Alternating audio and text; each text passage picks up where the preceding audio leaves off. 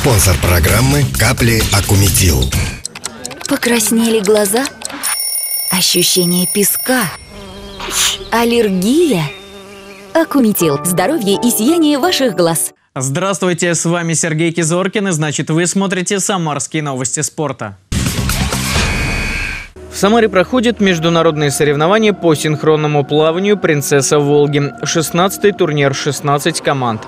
Беларусь, Казахстан, Россию представляют лучшие спортивные школы Москвы, Санкт-Петербурга, Самары и других городов Поволжья.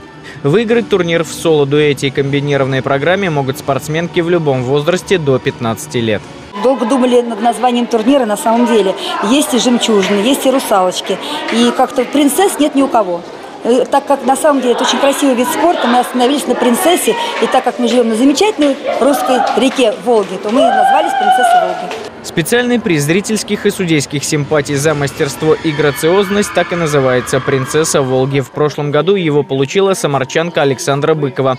А на днях еще и именную премию губернатора Самарской области за достижения в спорте. Сейчас очень большая конкуренция. В соло я должна, ну, как бы встать на пьедестал.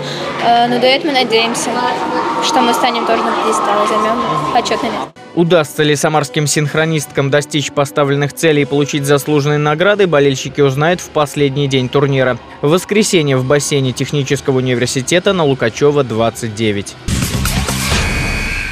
Это были новости спорта от Сергея Кизоркина. Будьте здоровы и занимайтесь физкультурой.